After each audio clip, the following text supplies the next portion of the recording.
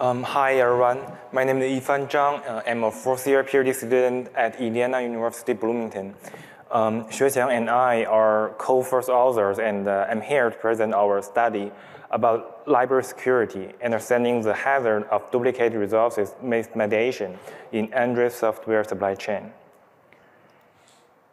Um, Today's mobile apps increasingly rely on the third-party libraries to provide essential functionalities like advertisement, analytics, and in-app payment. However, integration of the libraries from less reliable sources could bring in security and privacy risks. Um, and previous studies have investigated different types of malicious activities in third-party libraries, such as ad fraud, harvesting sensitive user data and tracking users without consent. The natural solution of mitigation of mitigate to mitigate such security risks introduced by uh, Android libraries always includes static vetting of library code and runtime inspection of its behavior.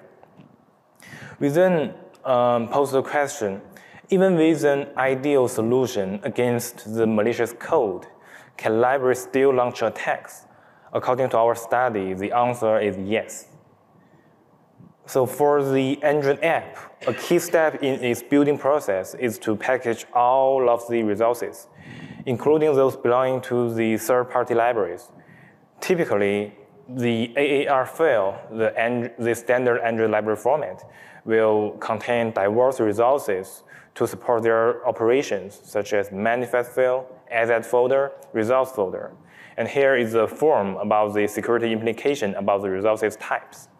We can see that if some type of resources are manipulated by a malicious party, the consequence can be very serious, such as um, man-in-the-middle attack or like uh, hijack attacks. Um, there's uh, previous previous studies mostly focus on analyzing the codes inside the uh, classes.jar uh, however, there is an implicit assumption that the resources in the AAR packages are innocent and harmless. But uh, is this the case? Resources in library and in the apps are managed by the Android Resource Compiler, ARC. A complication during this process is that multiple libraries may have duplicate resources Thereby, we raise another question. What will happen if two libraries have resources with duplicate name? In our study, we answered this question and we systematically explored the risks of duplicate resources mismediation, and we also measured the real-world impact. Before we start, we need to have an understanding of resource, of resource mediation by ARC. In the case of duplicate resources in different libraries, ARC will select the resources from high priority libraries. That means the resources from lower priority library with same name will be dropped. There are three rules to determine the priority. Um, consumer first rules means that if library 2 depends on library 1, then library 2 has a higher priority. Local first rule means that the local libraries will have higher priority than remote libraries. Picking first rule means that in the Android dependencies list, libraries listed earlier will have higher priority. And here is a very simple example of the uh, priority rules. We have library 0, 1, 2, and library 2 depends on, depends on library 1, and then the priority will be uh, library 0, then library 2, and then library 1. So given these three rules, we found a way to raise the priority of a malicious library. The first one depends on the consumer first rule. For malicious libraries, the most straightforward way to raise the priority is to declare the victim library as its dependency. For the second strategy, we notice that apps often rely on a few Android platform libraries that preset by Android Studio and are usually located in the very beginning of the dependencies list in the build.gradle. Thus, in practice, the platform libraries may have higher priority than other third-party libraries. The, the malicious library can elevate its priority by depending on some platform libraries. And to confirm this, the effectiveness of this strategy, we create a demo library that depends on these three platform libraries. And then we also collect 100 open source apps from GitHub. And we add our demo, demo library as a dependency to the very end of the dependencies list. The result proved our strategy. The demo library has a higher priority than 97% of third-party libraries that are used by the open source projects. For the third strategy, recall the local library will have higher priority than remote libraries. Therefore, an attacker can distribute his malicious library as a local library. With this strategy, the malicious library can gain a higher priority than any remote third-party libraries. So here is the first attack example. Please notice that all of the attack introduced today will happen silently, which means that there will be no error, no warning. The whole building process will look perfect, except some stealthy attack happened. Right here is a part of JSON file in resource folder from a payment library, and it defines a remote JavaScript URL.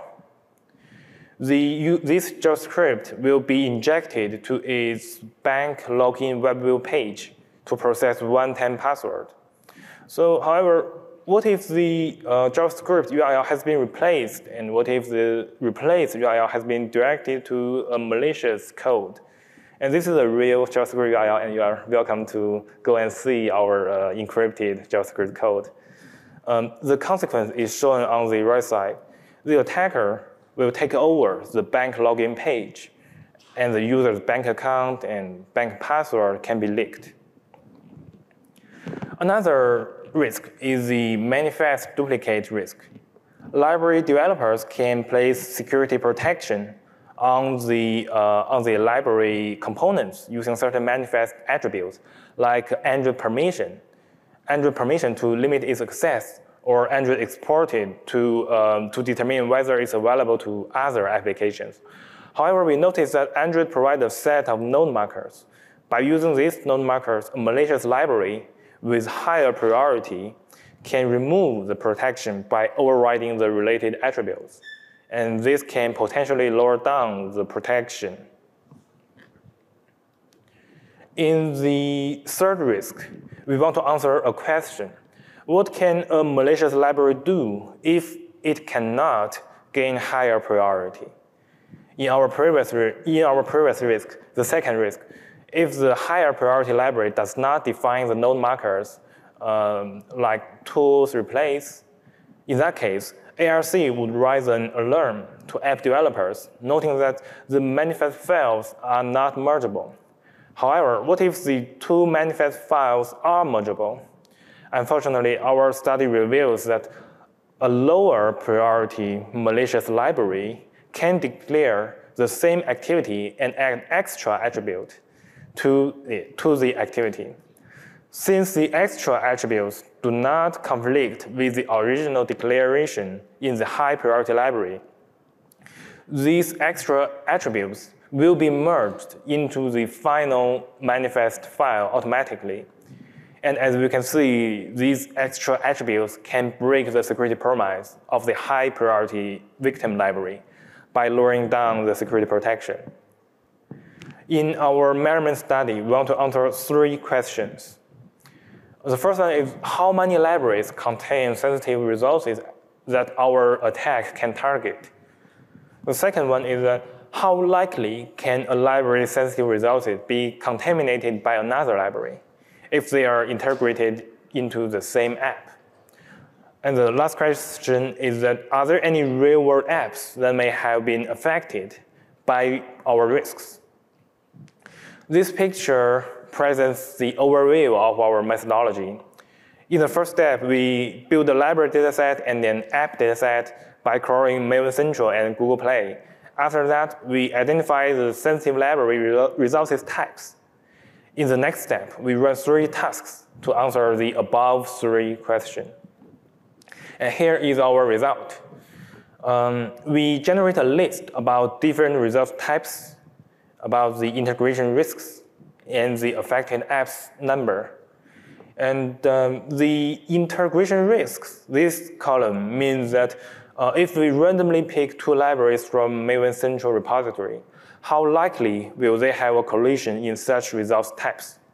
And as you can see, the ratio is pretty high. For example, if we randomly pick two libraries in Maven Central repository, there are 22 22% possibility that they have a collision in backend URL.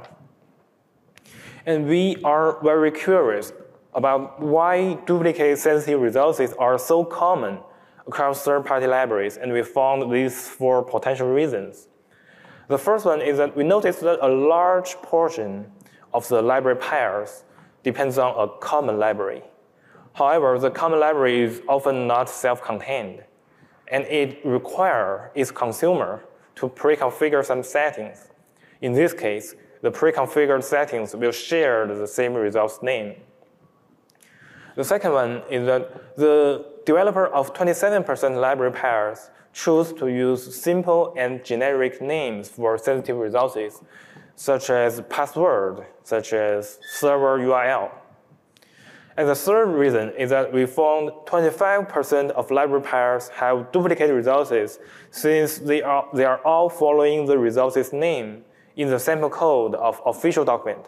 For example, um, Google's document asks developer to put network security configuration into, into the uh, XML folder and make the name to be network security config. And the last reason is that we found that um, some dupli duplicate resources are caused by library templates. For example, some library developer may using the uh, open source project, they may use the public library builder services. And we also provide a mitigation uh, as a compile time resolve rewriting mechanism. Please refer to our paper for uh, more information about, uh, about the details. And thank you for your listening.